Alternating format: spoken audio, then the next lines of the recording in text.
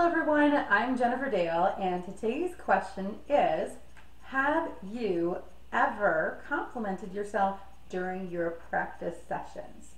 So I know, I know, I know, I know that you are an expert criticizing yourself. You can tell me exactly how many things you've done wrong, where the thing doesn't sound right, where your voice is weak, where you don't like this, it didn't make sense, it didn't do what you wanted it to do, you couldn't play it the way that you wanted, etc., etc., etc., etc. Like you have gold star after gold star lined up in being able to tell yourself everything that you've done wrong. And we all do it, right? It's very normal to focus on this because we want to get better. We want to do things well. And the first conclusion or the first assumption is that we just have to focus on what's wrong in order to make it right. And while there is some truth to that, we do need to have critical analysis in order to get better. What generally happens is you fail to actually identify the progress that you're making.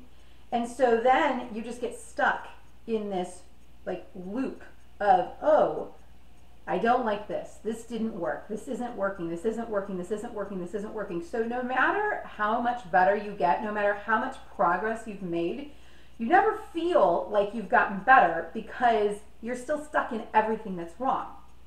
So I have a challenge for you. And you, my lovely people, I know you are up for the challenge.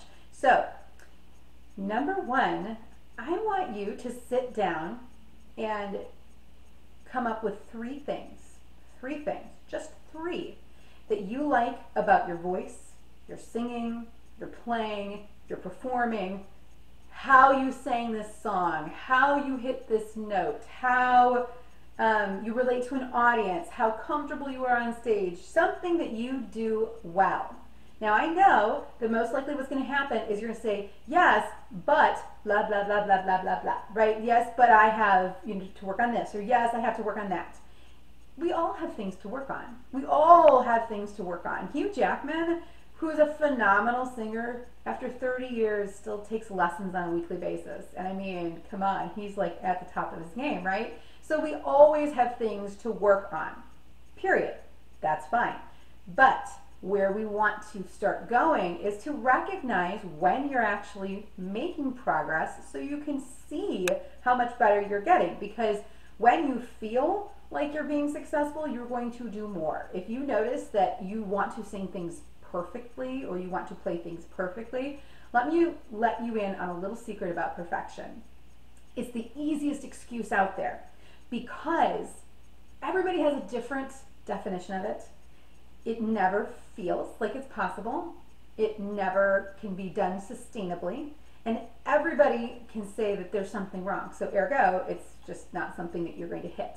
And ironically, most of the time when we shoot for, perfection, that's when you're going to find yourself avoiding practicing. You don't really want to try the new thing because you want to do things right. You have to do things right.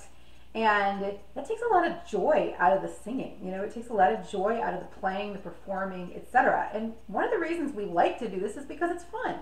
So instead of shooting for perfection in your next your next song, your next piece, I want you to shoot for doing it well, doing it excellently, doing it enjoyably. But it cannot be perfection. It's got to be something besides that. So, um, in the comment boxes below, make sure you like, click, all the good things. But I would love to hear either a video or a comment, one thing that you like about your voice, about your playing, about your singing, about your performing. Like, give me one thing that you like. And if you think somebody else can benefit from this, if you could please share the video to them, I would be so grateful. That's it for today. I'm Jennifer Dale. You have a wonderful day, and we'll see you next time.